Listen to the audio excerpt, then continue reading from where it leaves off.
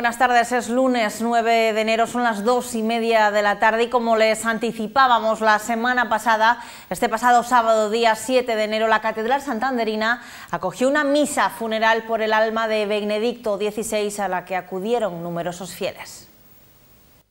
Una homilía centrada en el trabajo desempeñado por el Papa fallecido, poniendo el acento en aspectos como que hizo teología de rodillas, una argumentación de la fe que comunicó con la sensación de haber entregado todo cuanto era Dios un hombre que se esforzó a lo largo de su pontificado por mostrarnos a un Dios cercano, un Dios que es amor y que no se comienza a ser cristiano por una decisión ética o fruto de una gran idea, sino por el encuentro con la persona de Jesús de Nazaret, que nos cambia radicalmente la vida y abre horizontes nuevos.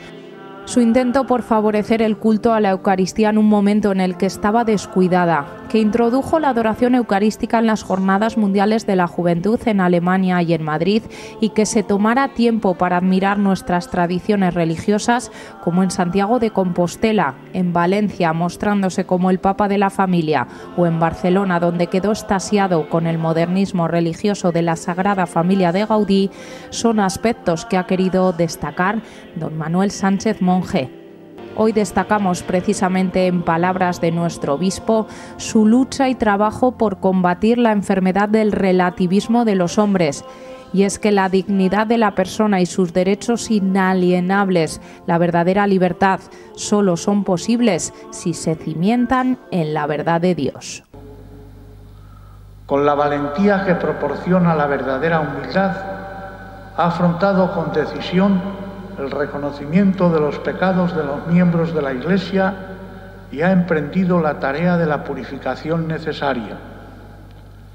No deja, nos deja un estilo pastoral nuevo, sencillo y humilde, claro y sincero, acogedor y firme, profundamente religioso y al mismo tiempo cálidamente humano ocho años de pontificado que terminaron y que interiorizó y supo compatibilizar con discreción y obediencia sin ningún tipo de intromisión con el mandato del actual Papa Francisco. La Junta de Gobierno local ha aprobado el proyecto técnico para llevar a cabo la rehabilitación del Banco de España como espacio expositivo asociado al Museo Nacional de Arte Reina Sofía Archivo La Fuente. Será elaborado por la UTE Boluar Arquitectura, Cero Arquitectura y supondrá una inversión de 15,7 millones de euros. Una actuación que tendrá un plazo de ejecución de 24 meses y que está previsto que se solicite lo antes posible para que las obras puedan empezar esta primavera. Así lo ha confirmado esta misma mañana el concejal de fomento del Ayuntamiento de Santander, César Díaz.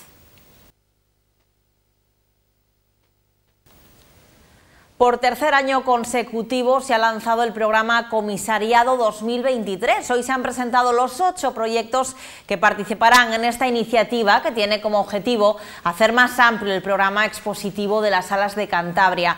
Los espacios culturales en los que podremos ver estas instalaciones son la Sala Concepción Arenal del Centro Cultural Los Arenales en Santander, la Sala de Exposición de las Casas del Águila y la Parra en Santillana del Mar, el Centro de Estudios Lebaniegos en Potes, y la Casa de Cultura Hermilio, alcalde del Río en Torlavega. Chernóbil, la amiga invisible, algunas rosas y sus fantasmas o al borde del tiempo son algunos de los proyectos seleccionados por un jurado profesional de entre los 31 que se presentaron a esta última convocatoria. Empezamos en marzo, llenaremos en las salas expositivas de Cantabria de arte con un guion que nos va a hacer reflexionar temas, todos ellos que tienen que ver con el debate permanente en la sociedad actual y que por lo tanto van a llenar las salas de exposiciones del Gobierno de Cantabria. Una iniciativa con la que se cumple otro de los objetivos del Gobierno de Cantabria, descentralizar la cultura y llevarla a todos los rincones de la comunidad.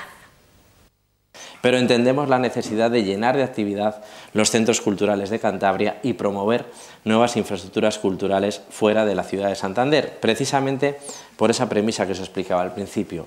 La cultura genera empleo tanto dentro como fuera del sector y este es el objetivo que tenemos desde el Gobierno de Cantabria, aprovechar las oportunidades que tenemos transformando en hechos aquellas palabras que durante tanto tiempo se han pronunciado en Cantabria.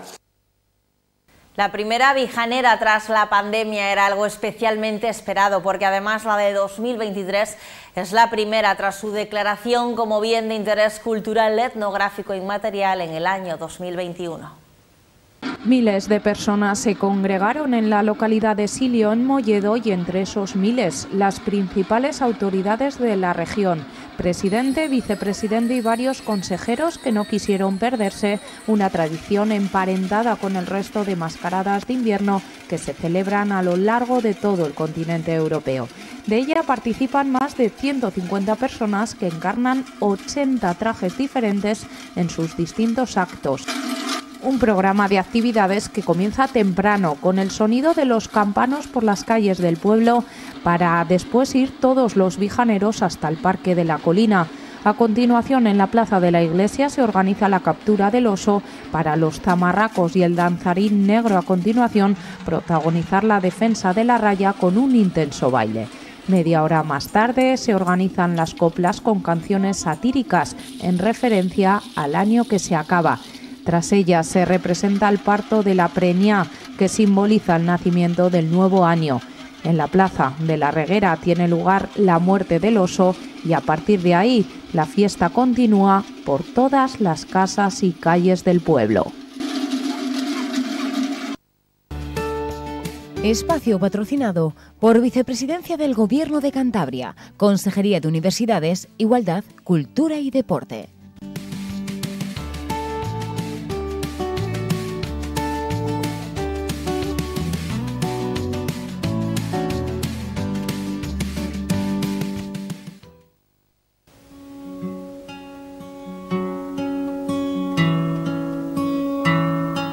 Imágenes de la película El sabor de las cerezas del director Abbas Kiarostami, la dura historia de un hombre de mediana edad que decide suicidarse. Su única preocupación es encontrar a alguien que le ayude y se comprometa a enterrarlo.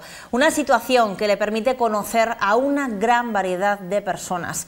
Una película del 97 que llega este miércoles a la Filmoteca de Cantabria Mario Camus y que podrán ver ese día en dos horarios, cinco y media y ocho y media de la tarde.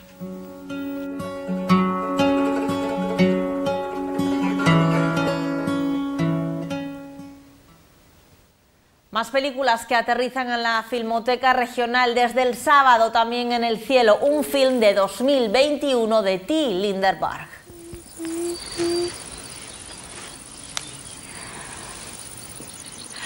Una historia que transcurre a finales del siglo XIX y en la que conoceremos a Liz, una joven de 14 años cuya vida cambia para siempre. Es la mayor de sus hermanos, la primera de su familia en ir a la escuela y está llena de esperanza y confianza en la vida, pero cuando su madre se pone de parto, pronto algo parece ir mal.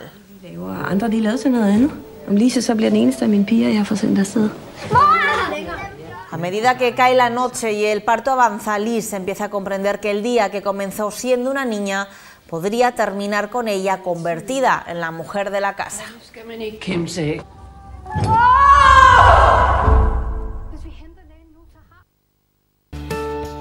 Espacio patrocinado por Vicepresidencia del Gobierno de Cantabria, Consejería de Universidades, Igualdad, Cultura y Deporte.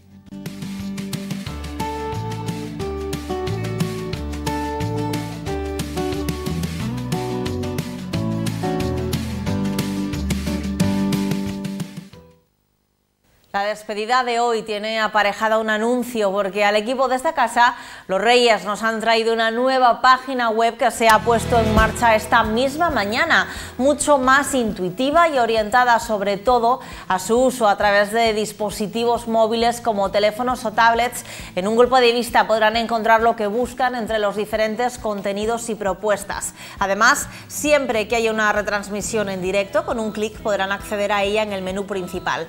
Así que ya lo saben, saben, tocar y trastear y familiarizarse. Recuerden que si tienen cualquier sugerencia que nos ayude a mejorar, tienen un canal abierto con nosotros a través del teléfono que aparece en pantalla.